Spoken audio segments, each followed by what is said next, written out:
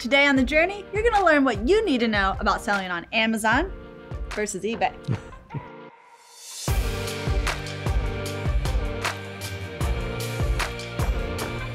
if you sell products, then you probably already are on Amazon or eBay. And if not, they're gonna wanna learn pros and cons of each.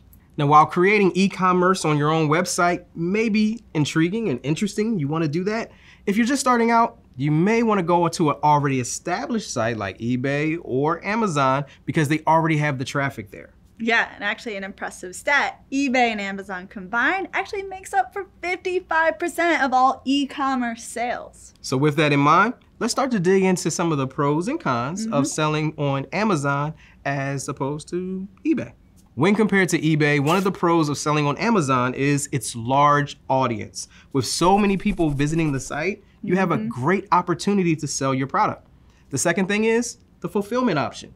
Right. Fulfillment by Amazon, you don't have to worry about how your product is going to be shipped out to your customer.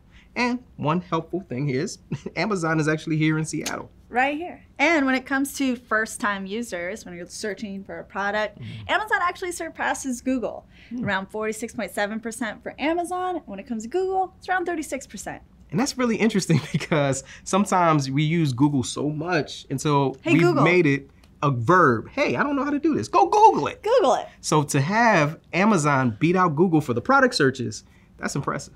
Yeah, I use that a lot when people are starting to annoy me with too many questions, which might be a little passive aggressive. But I'm like, I don't know, maybe just go to a site where you could look it up, like uh, Google. Uh, Google? I don't know. Now, pros on selling on eBay it allows you to have access to your customer's email, mm -hmm. which allows you to build up your email list. And that email list can be used to resell, upsell, cross sell. It's very beneficial.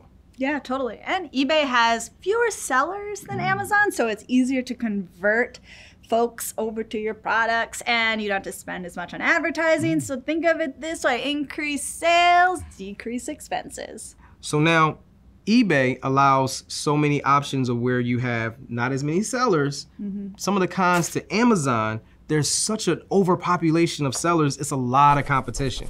So a lot of people may find it necessary to actually get advertising on the marketplace, which is an increase in what you have to put out for your product, which can lower your profit margin. Also with Amazon, they have complete control over your customers. So mm. you have no way as a merchant to reach out and contact your buyers. And you can't build that email list mm. like you can on eBay. Right.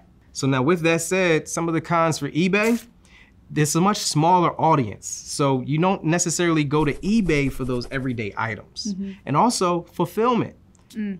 eBay doesn't offer an option for them to send it out for you. Now, it is rumored that they are looking into a third party to, to do fulfillment. However, again, Amazon beats them out for that because Amazon does it themselves. Yeah, it gives Amazon that edge. So the big question when it comes to selling on Amazon versus eBay, which is better? It depends. Now, if your product is rare, unique, or used, eBay is really the place to go for that. I like that about eBay, the rare, unique, used. I know when I was deciding on moving to LA, I lived in Indiana at the time, I thought, you know what? I'm gonna go to LA and I wanna pick a sports team. So of course I hopped on board with the Dodgers, but what I needed to do is get some gear. So I hopped on eBay and I got this super dope vintage Dodgers jersey. Uh -huh. It was unique and it was rare and it was definitely used. but I still have it to this day and I love it. Even in San Diego, I wear it sometimes, although I have switched over to the Padres. Now, if you rely on repeat business, that could be a make or break for you. So eBay's option of giving you access to buyers' information, like their email, that may make eBay the place for you. So if you're looking for more of a do-it-for-you approach, you're gonna wanna go with Amazon. They're definitely giving you the easier approach, setting it up for you. They offer fulfillment. Pretty much they ship your items for you. So are insights and analytics important to you? Well, too bad. Neither one offers any kind of solution for that. However, Amazon does give more of an intuitive feature to its analytics. So in that area, Amazon could be the way for you. Do you want the cheapest option? Well, Amazon's selling fees are slightly more affordable than eBay's. However, you may spend a little bit more in advertising on Amazon. But also keep in mind, it really depends on the product and the industry. That's a wrap. You just learned what you need to know about selling on Amazon versus eBay. Be sure to like, subscribe, and comment below. And ring the bell so you're notified when we have our fresh new content coming out. Thanks for watching. This is The Journey. See you next time.